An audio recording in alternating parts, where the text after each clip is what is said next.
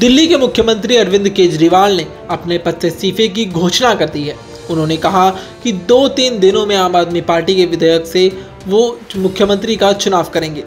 इसके साथ ही केजरीवाल ने दिल्ली में जल्दी चुनाव की मांग भी कर डाली।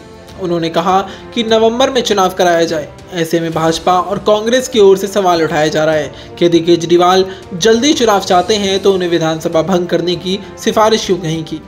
आम आदमी पार्टी के वरिष्ठ नेता और राज्यसभा सांसद संजय सिंह ने इसका जवाब दिया और उन्होंने राष्ट्रपति शासन की आशंका ज़ाहिर करते हुए कहा कि, कि इससे बचने के लिए विधानसभा का भंग नहीं किया जा रहा।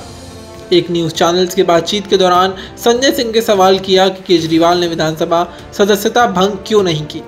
इसके जवाब में राज्यसभा सांसद ने कहा कि विधानसभा भंग करके राष्ट्रपति शासन लगवाना है क्या यहीं पर?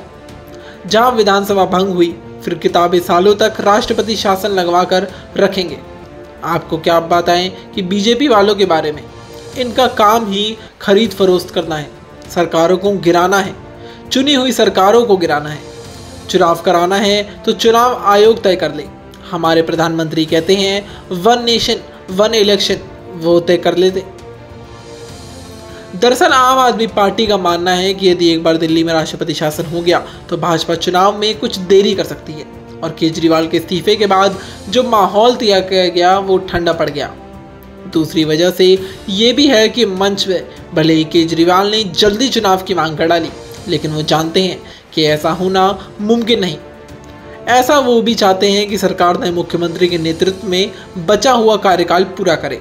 चुनाव में उतरने से पहले वो महिलाओं को अतिरिक्त सहायता देने की योजना समेत कुछ ऐसे काम कराना चाहेंगे, जिन्हें चुनाव में लाभ दिया जा सके। दिल्ली में विधानसभा का चुनाव फरवरी में प्रस्तावित है। केजरीवाल ने महाराष्ट्र और झारखंड विधानसभा के साथ दिल्ली में भी नवंबर में चुनाव कराने की मांग की। भाजपा की ये रही कि जल्दी चुनाव के लिए तैयार है। हालाँकि जानकारों की माने तो यदि केजरीवाल अभी विधानसभा भंग कर देते हैं तो चुनाव निर्धारित समय से ही होंगे। इसी के बाद कथित शराब घोटाले में गिरफ्तारी के बाद महीनों तक जेल में रहकर जमानत पर निकले केजरीवाल ने कहा कि विधायकों के साथ वो बैठक करेंगे। उन्होंने कहा कि दो तीन दिन में विधायक दल से बैठक होगी और आम आदमी पार्टी से नए सीएम का चुनाव किया जाएगा।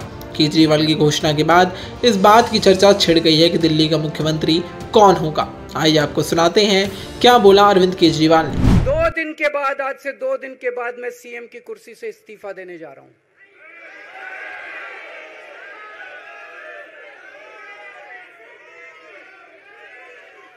और मैं तब तक सीएम की कुर्सी पे नहीं बैठूँगा जब तक जनता अपना फैसला ना सुना दे। मैं जनता के बीच में जाऊँगा गली गली में जाऊँगा घर घर में जाऊँगा, और जब तक जनता अपना फैसला ना सुना दे कि केजरीवाल ईमानदार है, तब तक मैं सीएम की कुर्सी के ऊपर नहीं बैठूँगा। दिल्ली में अभी मतदान सूची को अपडेट करने का काम होना बाकी है। ये जनवरी तक पूरा हो पाएगा। ऐसे में चुनाव आयोग के लिए नवंबर में चुनाव कराना मुमकिन नहीं। ऐसी अपडेट्स के लिए देखते रहिए न्यूज़ वन इंडिया।